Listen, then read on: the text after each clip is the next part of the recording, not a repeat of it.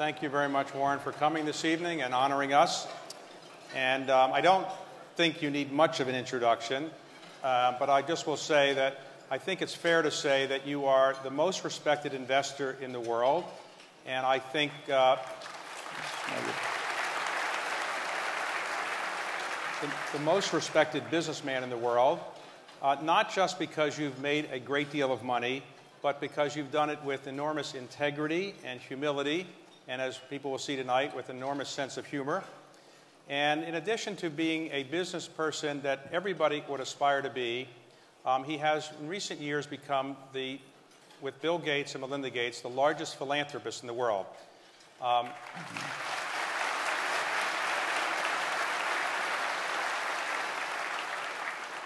I, I, think his net worth might be in, in, excess, a little bit higher than mine, I'd say. Uh, uh, about $50 billion more, more or less, and he's committed to give 99% of that away, uh, and he's in the process of doing so. So thank you on behalf of the country and everybody else for thank doing you. that.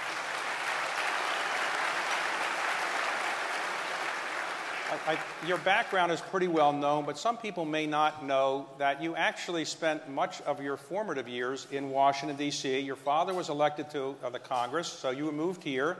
You went to Alice Deal Junior High School, got a lot of uh, C's and D's, as I understand. and then you went to Woodrow Wilson High School, uh, finished uh, 16th in your class, uh, but you were class of 17, we might add. Right. well, you had you were working, you were doing, you were pa- delivering papers in the morning and delivering yeah. papers in the evening and so forth. And my question, really, to begin, is that many people who grew up in Washington love living here and they want to stay here. So they hope to aspire to be the head of a lobbying firm someday or the head of a congressional staff or something. Um, do you ever have any regrets that you might, might have been able to make something of yourself had you stayed here? Well, I, am still young, David. I, okay. I, may come back. I, right, okay. I went out to Alice Deal today. First time I'd been there in 65 years, and, and I met the principal. Uh, I went to Wilson also today, but but at Alice Deal, I tried to get my record expunged, but I had no luck. well, um, you told me earlier today that you lived in Spring Valley. Yeah, I lived, I lived at uh, 49th Street between Van Ness and Fordham Road, yeah. And so today, uh, with a camera crew, you knocked on the door of the person who was living in your house. What did that person say? Well, we had a good time. I mean, the house seemed to have shrunk, but uh, yeah. she, she was she was very uh, a wonderful woman. She's lived in the house for 30 plus years, and, and we got along very well. And, and then we retraced my paper up. so when you were growing up in Washington, you were already a business person. Well, I thought so. I didn't get a lot of public recognition as such, but well, but uh, so you were making money, and as I right. understand it, uh, you filed your first tax return when you were 14 years old. Yeah, it was for the it was for the year when I was 13, and 13. I filed it when I was 14. Yeah. Okay. And did you think the tax rates were too high then, or not? It, it hurt more in those days. I, I did deduct my bicycle and my watch as, as business expenses, and, and only because the statute of limitations is applied. I took them entirely. Apparently, I never used my bicycle for pleasure or my watch. I never looked at my watch except when I was delivering papers. So um, after you graduated from Woodrow Wilson, you then went to uh, actually the University of Pennsylvania Correct. for a year and a half, and then you transferred back to, the University of Nebraska. Why did you leave Penn? That was a great business school. Why did you leave? Yeah, I just I, I felt I would. I, really, I wanted to quit after one year to be um, to give okay. you the honest answer on it. My father talked me. He, he kind of talked me into going to college in the first place, and then he talked me into going a second year. But he said if I went a second year, then I could, I could drop out. And uh, so then I went back to Nebraska. That way I got out of college in three years, and so it, it sped okay. things up. And I planned to live in Nebraska. So when you graduated from the University of Nebraska, you applied to Harvard Business School and were rejected. That's true. Um, has yeah. Harvard ever announced that they've regretted that decision? Well, the, the, I, I, understand the development officer is kind of right. unhappy.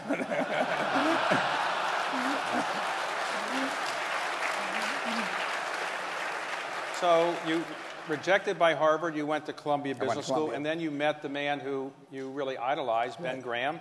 And when you took his class, was he as great as you had thought he was going he, to be? He, he, really was. He only, he only taught one semester, one class. I mean, he came up from Wall Street and taught this class. Uh, that's the reason I went to Columbia. And uh, it, he, I knew what he, I knew, I'd already read all the books and everything, so I, but it was inspirational just to be around him, and, I, I, it, it made a real difference in my life. So when you um, graduated, you wanted to go work for him and uh, his firm, and then he rejected you uh, for an interesting reason. Uh, in those days, I understand that there were Jewish firms and non-Jewish firms, and his was a Jewish firm, and you weren't Jewish, so he said because you weren't Jewish, he didn't hire you. Is that, that right? That's true. He's, and, and I, I was ready to convert, believe me. I,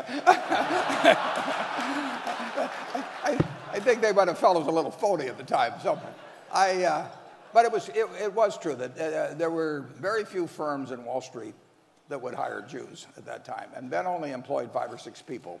But he told me to the extent that they had were able to employ five or six people. They really felt that the Jews could not get into most jobs in Wall Street and that they, they were going to employ only Jews. Well, his name was Ben Graham, but actually his real name was Ben Grossbaum. Well, his, his, his, his yeah, his, parents, I right, think they changed, changed his their name. name. Yeah, my, my son is named Howard Graham Buffett, named after Ben, and, and he's very glad that Ben's father changed his name.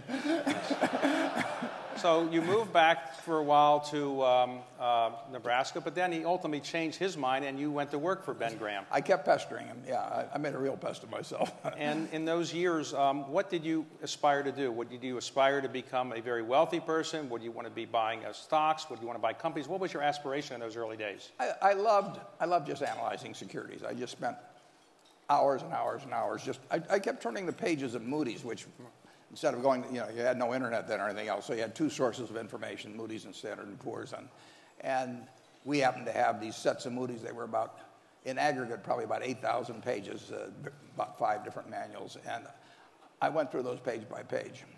And, well, it must have been exciting. Uh, oh, uh, yeah, uh, it's a little strange. I mean, you know, I, I, I actually went to Amazon a few years ago and I found an old 1951 Moody's. Now, everybody else is going there for Playboy magazine, but I'm ordering the old Moody's. Uh, you've got a strange guy here.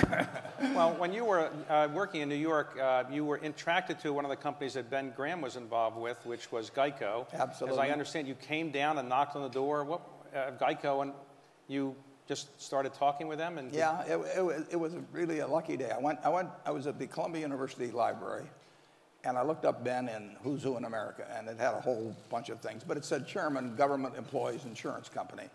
So I asked the librarian, uh, how can I learn more about this? I'd never taken any courses in insurance. And he said, well, there's this big best manual. If you read that, you can find out about the company. And there was one page on government employees insurance. So that Saturday, I got on the first train, and I came down to, uh, to Washington, and I went to the headquarters of what was then called Government Employees Insurance. And to my total surprise, the place was locked. I mean, people didn't work, and, and people normally worked on Saturday. People in Washington didn't seem to work on Saturday. So I kept pounding on the door, and finally a janitor came. And I said to the janitor, I said, Is there anybody here I can talk to except you? Now, he didn't seem to get offended right. at that particular introduction. So he said, There's a fellow up on the, on the I think, sixth floor, and uh, he's the only one here. And he was a man named Lorimer Davidson, and Lorimer Davidson changed my life in a big way. He was a wonderful, wonderful man. And uh, uh, he talked with me for maybe four hours on a Saturday and gave me an education like I'd never gotten in school. And so you liked it so much, you eventually bought the whole company, right? It's one of those things, yeah. it, it, took a few years. so when you were starting your investment partnership, I think you started around 1956 with a partnership. That's correct. Right? And as I understand it, if somebody had put $10,000 in in 1956 and had stayed with you and, and kept uh, stock that they could have gotten when you liquidated some of the partnerships, that 10000 would be worth roughly $500 million today? That's about right. Wow. Yeah. So those people are very grateful to you who did that, right? You know, I was grateful to them, though. I mean, they, they were betting on a 25 year old, you know, who, who looked about 20 and acted about 12. And, and uh, so I, you know, uh, and actually they were mostly relatives. I mean, it's my father-in-law and sister and, and, and, and her husband, my aunt. And, so your investment partnership started, you started buying companies and uh, buying stocks. And one of the companies you bought was Berkshire Hathaway. And although your company is now very famous, it's named Berkshire Hathaway, that was not one of your best investments, was it? It was really dumb, yeah. Yeah, yeah I, I mean, it was, it was what I call a, I used to call Graham's approach on buying very cheap stocks that weren't very good companies uh, cigar butts because you, it would be like walking down the street and finding a cigar butt. There was one puff left in. And it didn't cost anything, and it was kind of disgusting, but it didn't cost anything. So, but I thought Berkshire Hathaway was that kind of a company. And it wasn't much of a puff Right, either. right. Well, so, you know, your company is named Berkshire Hathaway. You've sold that company many years ago. Did you ever think of changing the name? No, no. Uh, I, don't, I don't do much of that. Okay.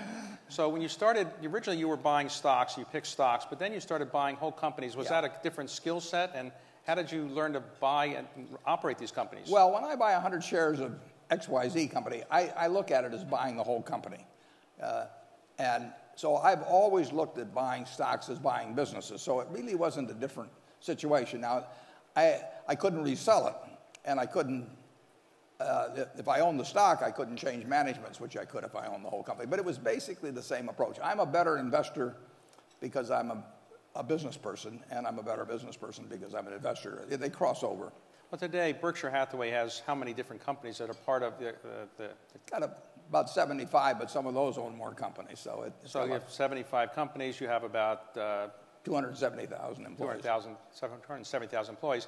How do you manage all that? You have a very small office. How many people do you have in your office managing all this? Well, we're- now up to 24.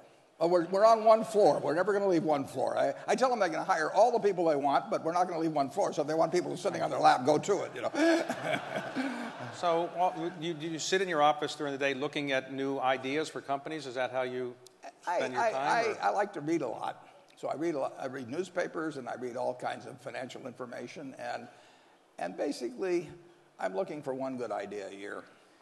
And do people send you letters over the transom? Has any of those ideas ever worked? Uh, occasionally, but not, not very often. But I only need one a year. Okay. We're in June, incidentally, David, if you want to help me out. I mean, All right. Okay. well, we have a couple companies we like to sell to you, but, uh, um, but you don't pay high prices. But uh, um, so, in your office, do you have a computer in your office that you Not use? in my office, but, but uh, other people in the office have them. So I know you're not a famous technology person, but do you have an iPad or do you do No. internet things? Oh, I do internet things. Yeah, I, I love the internet. I mean, the internet, it's, it's fascinating to me because uh, it's, it's probably affected my life, you know, as, almost as much as, say, Bill Gates did. We have a, when Bill and I appear together, sometimes we, we use the trick question of, aside from email, which one of us is on, is, is, is on the computer more? And the answer is me. Because you play bridge on I the play computer. bridge on the internet, And right. every, every, every night you spend, Yeah, a couple hours a night. and after all these years of doing it, are you a champion? No, no, I'm not even close. uh, I, I just have a good time every, you know, it, it, it's the most interesting game I've found. And do people know that they're playing with you over the internet? I use or- the name T-Bone, and that's, it's gotten around that I am T-Bone, yeah. I, I used to put my age as 103, so when I did something dumb, people would say for a guy 103, he's not bad, but So um, you met over the years Bill Gates. How Right. did you first meet Bill? what? How did you first meet him? I met him in, uh, on July 5th, 1991. Meg Greenfield, who some of the people here probably knew, had a, had a house out in, on an Bainbridge Island out right there in Seattle. And she'd called me in the late 80s and she said, Warren, do I, I love Seattle. Do I have enough money to buy a second place? And I said, Meg, anybody that calls me an ass does have enough. It's the ones that don't call. So she bought this house and she wanted to show it to me then in 1991. So actually, Kay Graham, I, Raleigh Evans, uh, uh, maybe one or two others went out there and, and visited Meg. And then Meg knew the senior Gateses.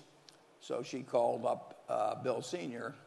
and Mary Gates and said, I've got this crew out here, and could we drop down? And Mary said, fine. And then Mary called up Bill and said, uh, Warren Buffett's coming down, and would you like to come down? He said, hell no. Uh, what do I have in common with that guy? You know, he, he, he doesn't understand technology. You know, he's, he's hopeless. And Mary was very determined, and she said, you know, you're going to come, Bill. And so they negotiated a while, and finally they got down to where he said he'd come down for, I don't know, an hour and 27 minutes or Right. some other thing. And, and he came down, and we hit it off, and we were still talking 10 hours later, and we became good friends. But he never convinced you to buy Microsoft stock or buy technology companies. He didn't, he didn't try to. He tried to get me to use a computer. Did that uh, work? Uh, eventually. Uh, uh, when I learned I could play bridge on it, I got interested. I, thought- still don't understand what happens with it, though. I, I mean, thought he originally said, I would get the most beautiful woman did- working at Microsoft and That's, come and install that's what he did, but, but, but he was engaged to her, so Melinda, so it didn't work. So, as you got to know Bill better, did he influence your views on how to uh, make investments or influence your views on philanthropy? I wouldn't say too much. We, we, we have a group of maybe 50 people that started getting together in 1968. We meet every other year. Don Graham was here tonight as, as, as, as The Buffett group. Yeah, and, and, and at that, at those meetings, we would talk about various subjects, and, and philanthropy was an important subject. So uh, I think it was maybe in 1993 or something like that. We had a meeting. Uh, I think it was in Ireland at that time, and, and I actually brought along the Gospel of Wealth for everybody to read. We discussed it then. But so our thinking sort of evolved uh, together in a way. But have you um, ever regretted not getting involved in giving away money earlier in your life, or you've done No, my, my wife regretted that. She thought I should, she liked the idea of giving away. We both agreed on giving away all the money. I mean, it, it, uh, once we had everything we wanted, and we've had everything we wanted. I mean, it, it, it uh, you know, and the surplus wealth I have has no utility to me. It has all kinds of utility to the rest of the world if used properly. So uh, we agreed on that early. She would have liked the idea of giving away more of it earlier, and I, I felt that I was going to be a better compounding machine than, than, than most places, and that there would be a whole lot more to give away later on. So I told her, I'll pile it up and you unpile it. You know, All right. Now, your father was a very conservative Republican congressman, Right. and you were probably a liberal Democrat. Is that a fair? well, yeah, I would, but I was, I was Always very conservative back. You were conservative uh, or when he was alive, Right. and then you later moved further to the left. And would you fair? It's, it's fair to say you're a liberal Democrat now, or Yeah, but I'm not a card-carrying Democrat. I support certain Republicans, and I have. And, and actually, this year I gave some money to a Republican congressman. And uh, you've become famous recently in Washington for, among other things, the Buffett rule, which says that uh, people's, uh, I guess, tax rates should be at least as high as their secretaries. Yeah, the- the- uh, in terms of the aggregate of payroll and, and, and income taxes. I, I couldn't get a disease named after me, so I had to settle for a tax. I mean, And have any of your friends suggested that you compensate your secretary uh, in capital gains kind of thing so she could pay a lower rate? she's been suggesting that lately. Yeah, right. yeah, yeah. She's always on the phone with some tax advisor now. now the, the interesting thing is people have speculated about how much money she made, but the tax rate actually above $106,000 for most people goes down if you take the aggregate of payroll and income taxes uh, because the, the payroll tax is the most regressive of all and quits at that point. And uh, so actually between say 106 and 200, in most cases the rate would go down. Well, your financial acumen is pretty well known. So we now have in our country $15.5 trillion of debt in our federal government and 1 trillion a year or so adding up. Um, what would you do if you were able to wave a wand and try to fix our debt problem or deficit problem? Well, I, I think I would do what everybody in this room could do. Uh, I mean, if, if you ask everybody here how much the federal government should be raising annually or, or in aggregate over the next 10 years, the answers would come in somewhere between 18.5 and 19.5 percent, which is close to what's been the situation since World War II. If you ask them how much the government should be spending, they, probably come in at 21 percent. Someone come in at 20 and a half or 21 and a half. There's, and incidentally, you can have a two percentage point deficit relative to GDP, and and the debt to GDP will not grow. I mean, it, it, in fact, it probably will shrink just a touch. So you can have a couple percent deficits on average, and I would take the plan that 90% of the people here would come up with to get to that 19% of revenue and or to get to 21%. It can be Simpson-Bowles, it can be a bunch of different things. And no one's going to agree 100% on every point. But we do, I think we do agree on the fact that we probably should be raising 18.5 to 19%, and we should be spending 21 or thereabouts. And that means it means getting more from taxes, and it means cutting expenditures. And the problem is that you know the, the Democrats don't want to talk about what expenditures they would cut, and the, and the Republicans don't want to talk about increasing revenues. So would you be in favor of increasing the, the uh, capital gains tax or no? Yeah, I would, I, I would be in favor of that. But, but we could come to, we're raising, we'll say, you know, 2.4, 2.5 trillion now. We have to raise, you know, probably three or 400 billion more than that. And that can be done. I mean, we've done it straight right. through. I mean, I've, I've, operated under all kinds of tax rates, including 39.6% on capital gains. And the country is growing under all these circumstances. Our country works. Uh, but somebody has to step up and say where it comes from. It won't come from just talking about reform doesn't solve anything on either the expenditure side right. or the revenue side. I mean, you've got to get specific about it. And, and like I said, I would, I'll bet if everybody in this room designed a plan, I could sign on to 90% of them. And uh, today, uh, the economy in the United States is thought to be growing about 2.5% a year. Do you agree with that? Do you think there's any chance of a recession in the near term? I think it's very low unless, unless events in Europe develop in some way that, that spill over here big time. Uh, but incidentally, if the economy grows 2% a year and population grows 1% a year, that means each generation is living 20% better than the generation before, and it means in a century, people are living three times as well as they lived at the start of the century. So, right. I mean, our, our, our rates of gain in the way people live has, has been dramatic. In my lifetime, I was born in 1930, there's six times the real GDP per capita as right. when I was born. Six times in one person's lifetime. We have a system that works. Uh, I mean, and it'll keep working. You know, it may not work at six times for the next 80 years, but it'll work. It'll be two and a half times or three right. times. Now, are you worried about the euro going away? Do you think Europe would allow the euro to go away, or? That's the big question. I mean, uh, you know, uh, Lincoln said that you know, a house divided cannot stand, and half slave, half free wouldn't work. And we've got a system where it's they're half in and half out. I mean, they're in on a common currency, and they're not in on common fiscal policy or common culture or common labor practices. And that house will fall, but that doesn't mean it has to, and that, it means that they have to they have to reconcile some of these things. It, it can't be half slave, half free.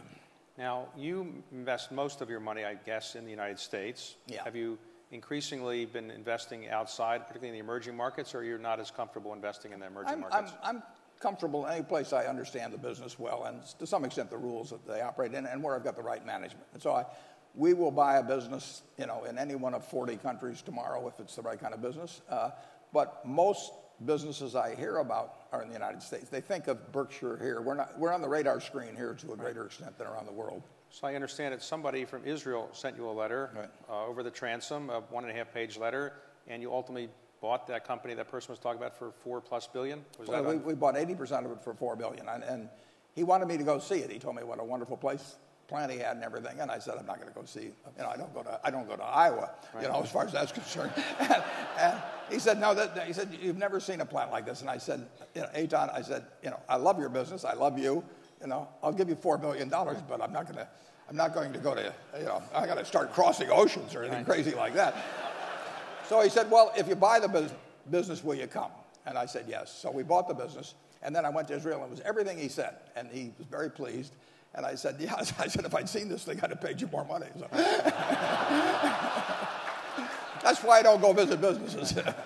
so what about China? Do you invest much there? You go to China very much? we've much? Had, we've had uh, two big investments. I was sitting in 2002 or 2003 reading the report of PetroChina. And it was, fortunately, it was in English. And I uh, put about $500 million into PetroChina. The government of China owned about 90% of it.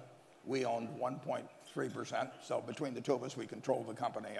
Uh, the, uh, and we made quite a bit of money out of it. It was a very, very cheap company. I mean, it was one of the huge oil companies in the world. The whole company was selling for 35 billion in the market, and that was ridiculous. Now, one of your most famous investments is Coca-Cola. You bought yeah. it relatively right. cheaply. It's very good for point. you, everybody. And, um, now, when you I don't were... care whether you drink it, just pour it on your neighbor, but open the can.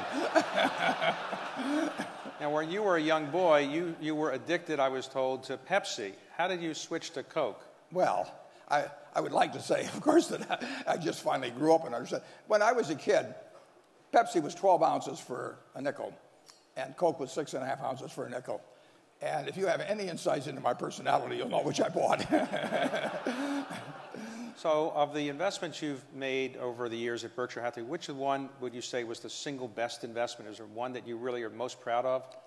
Well, the, the, the one I'm probably the most emotionally attached to is Geico because of a, a bunch of reasons, but it goes back to a day in January of 1951, a Saturday. And, and that what Lorimer Davidson did for me changed my life. And he didn't have to do it. I mean, I walked in there as some 20 year old kid on a, on a Saturday, and he, he spent four hours educating me. And then he became a friend for life. And then subsequent people are Jack Byrne and, and Tony Nicely, who's here tonight. I mean, it's, it's, it's just been a wonderful association, whether we made any money or not. But, we, but we've done pretty well on the investment, too. But it, beyond that, it, it, it has a special meaning to me.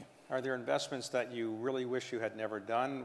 What's your worst investment? I made a lot of terrible deals. Uh, and the worst, it's, it's hard to, uh, probably the worst deal will be one I make in the future, but the, uh, the current title, I, I, I, bought a company, and, and, and incidentally, I did it. I mean, we do not have uh, PowerPoints around or people explaining this stuff to me. I just go out and do them.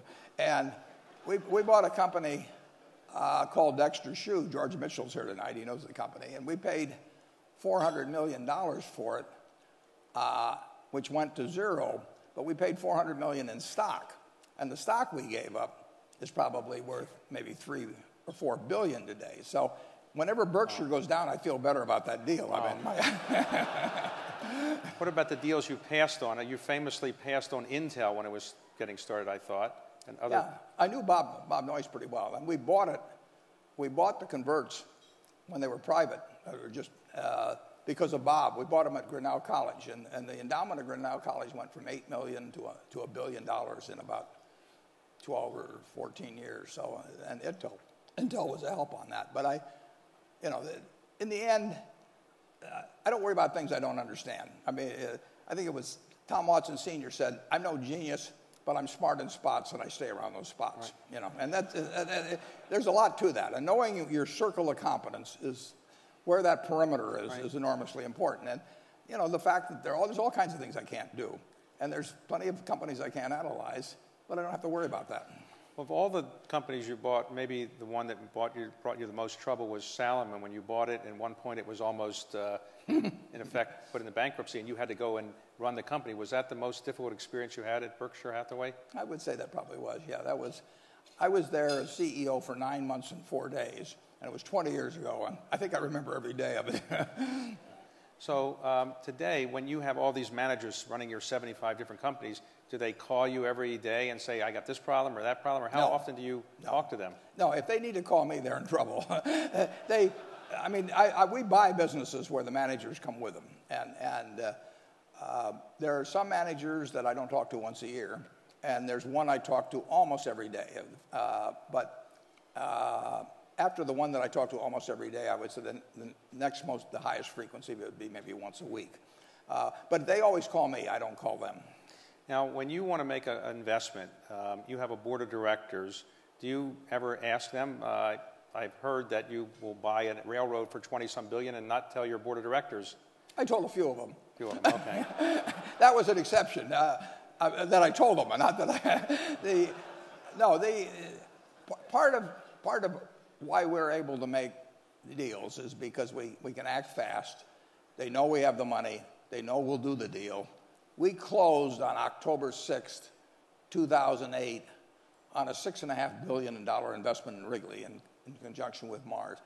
And they knew we would have the $6.5 billion and that we would close on that day. People weren't closing on anything. And so it's, it's, it's a real advantage to be able to pull the trigger. And, and, and, one, and if we have to go through lots of presentations and everything, I mean, I, I've been on 19 corporate boards and, you know, every deal works on the PowerPoint, you know, and, and uh, so it, it, it, it's a show and tell type thing, and I don't, I don't really participate in it. So um, recently came out in court uh, discussion that uh, in the insider trading thing that's going on relating to investment you had made in Goldman. Right. Um, it came out that you had set the deal and you told the investment banker this is the deal and they had to get back to you, but you said don't call for a few hours because you're going to Dairy Queen right. with your grandchildren. Is that right? You, That's true. You didn't want to be disturbed on a deal? Well, I just, I, I knew what I would do. And I told them what I would do. And if they wanted to do it, fine. If they didn't want to do it, fine. I mean, uh, we, we, we don't really negotiate at, at, at Berkshire. It's just, uh, I, I don't have enough time, you know, to spend the rest of my life, you know, uh, negotiating with people. So I tell them what I'll do. And, right. and if it works, fine. If it doesn't work, fine. Then. Now, um, famously, people wonder who will be your successor, and I wonder if tonight you wanted to give us any insights into that? Well, I have left the directors a Ouija board, and I plan to keep in contact with them. Okay. okay.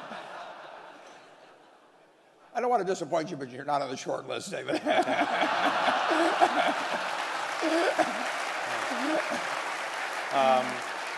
can I be on the long list? so um, we're, we're, we're in perfect shape for it, though. I will say that we, we've got we've got successors that, that are, in most ways are better than I am. But you expect that Berkshire will be around for 20, 30, 40 years forever. as a big. Uh, it's, it's, it's built to be forever. It, it, it has a special culture. It has directors who are committed to that. It has managers. It would, we have an organization would reject anybody that tried to tamper with that culture. And, and I think it, it is special and it can stay special. So today, having achieved all that you have achieved, you've got the admiration of virtually everybody in the world for what you've done. What kind of motivates you to keep going? Uh, what, what, are your aspirations over the next five years or so? I'm having the time of my life. I mean, I get to do every day exactly what I like to do with people who I love and who seem to like me pretty well. And, and it doesn't get any better than that. I, I tell the students that come to see me, and I have 48 universities come out every year. I tell the students, take the job you would take if you didn't need a job. And I've got the job that I, I, would, I don't need a job, and I've, I've got that job. Now, you are giving away 99% of your wealth. You have three children, uh, seven grandchildren, and nine great grandchildren. That's it.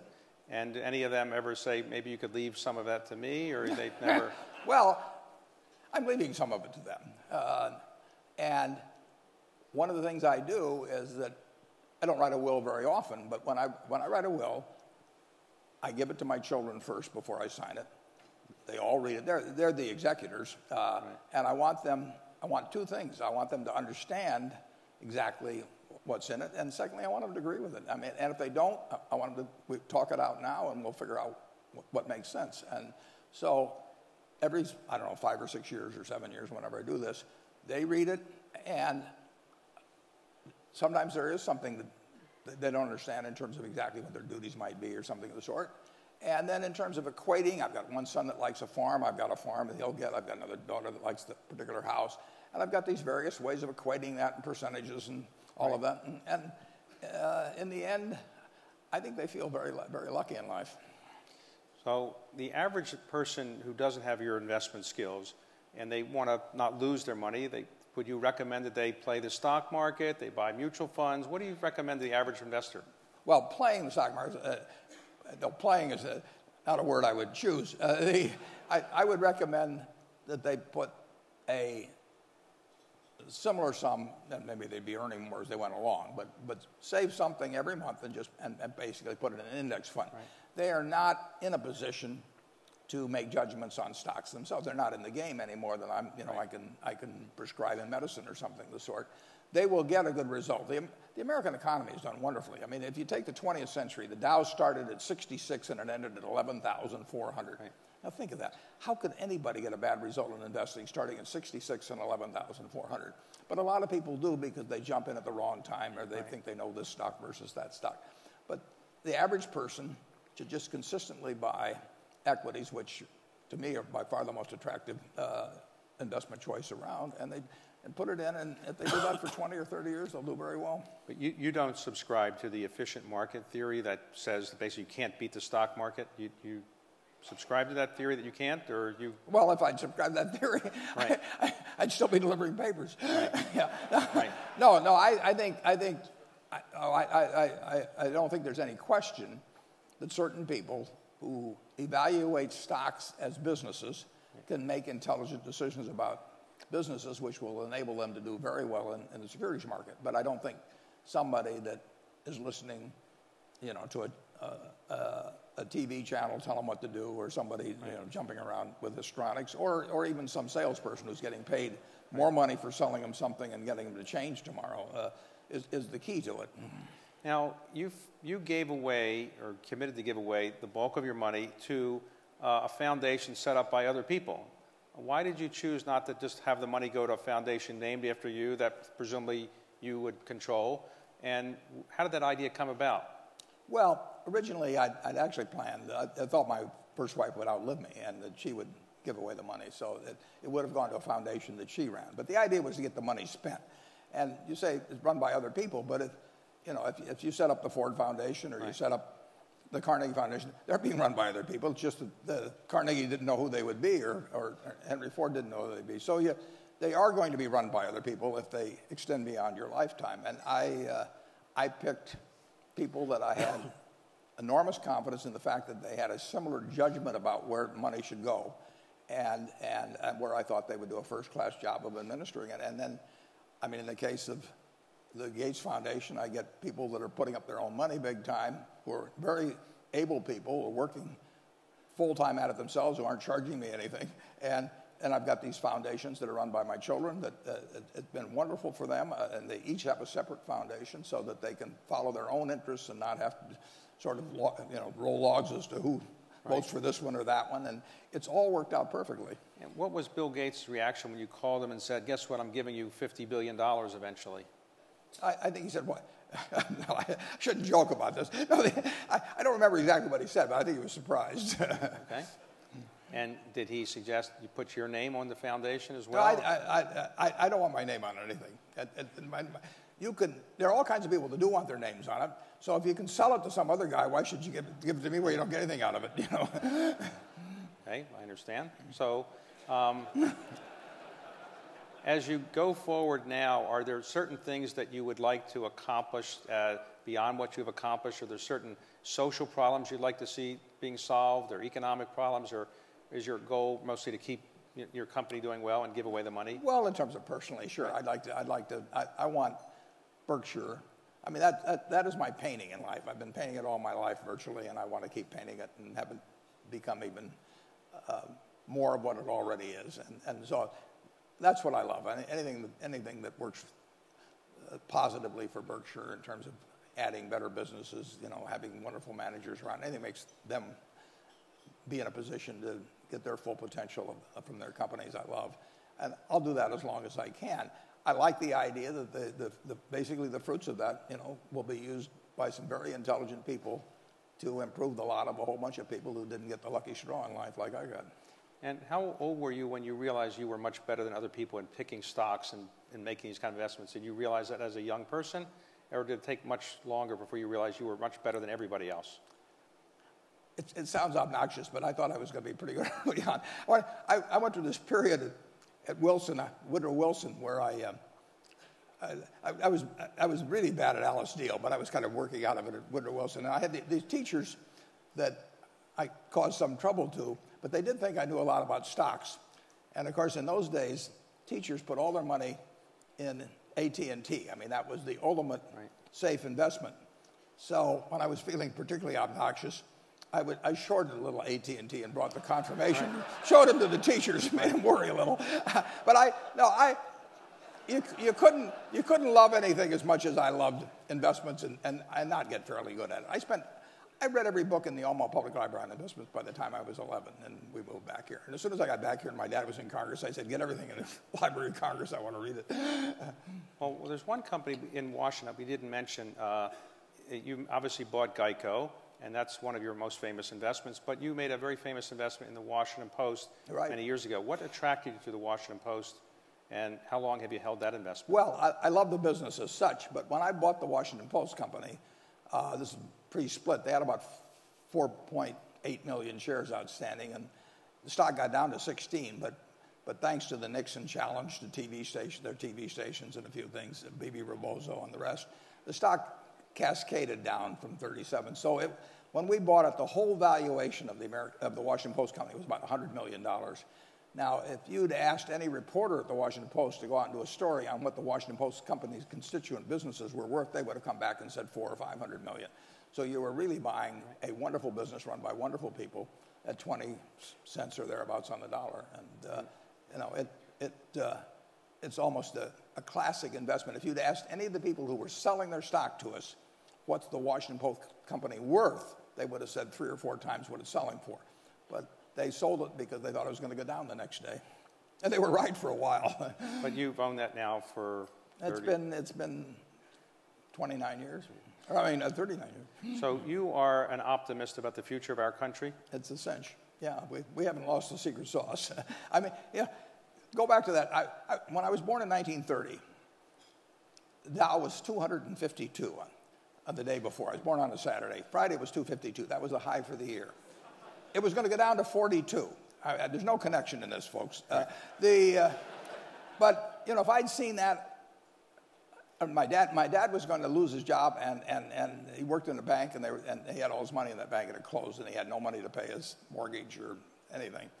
That was going to happen within a year. If you'd seen that, you said, this, you know, go back. It'd be like the old Woody Allen movie, you know, just don't, don't even come out. And look at what has happened since that time. I mean, you know, we went through a terrible war, we went through a terrible depression, we went through 25% unemployment, we went through thousands of banks closing, six for one, you know.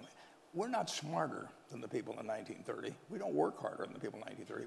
We've just got a system that works. It's been working, you know, since, since 1776, and it'll keep working. Oh, any regrets in life? Not really, no. And today you are um, somebody who is very close to the President of the United States. If he asked you to come in and serve as an advisor, would you do that? Well, it won't happen. if, he, if he wants to ask me anything, I'll, I'll certainly be, I, would I'd always be glad to help, but I, that would be true of any president or any circumstances. And today, Berkshire Hathaway, is that a buy at this price?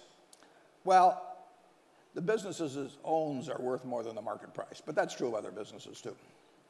Well, what I would like to do is, uh, on behalf of everybody here, thank you for an extraordinary tour de force of uh, your explanations of things, and thank you very much for coming this evening. And uh, I think everybody's an enjoyable evening. I know I certainly did. And I want to thank you on behalf of everybody uh, here and all America for what you've done and for your philanthropy and for your confidence in America. And on behalf of uh, our, the Washington Economic Club and, uh, and our, our, everybody here, I'd like to give you a few gifts if I could. You may get on that short list eventually this way. Okay. so, um,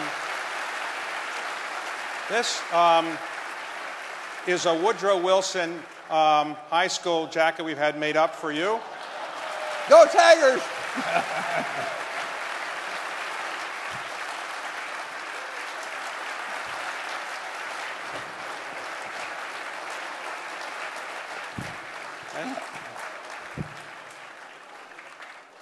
And um, we have here um, a copy of the original map of the District of That's Columbia it. we'd like to give to you uh, as a gift from the club. And um, I'd like to give you, as a personal gift, a um, copy of the Declaration of Independence. When we talked about this uh, appearance, um, you were at the archives, and I think you said you hadn't been there before. It was marvelous. Never been there, and um, I cornered you, and you said you weren't sure you would, what you had agreed to, but you agreed that you would do this. And I thank you for honoring your commitment to come. And this says, it's inscribed to you, and it says, Warren Buffett, a rare modern man with the essential traits of our founding fathers great wisdom, courage, and leadership, and also great wealth. Oh, thank you. Thank you very much. Thank you. So, appreciate it. Thanks.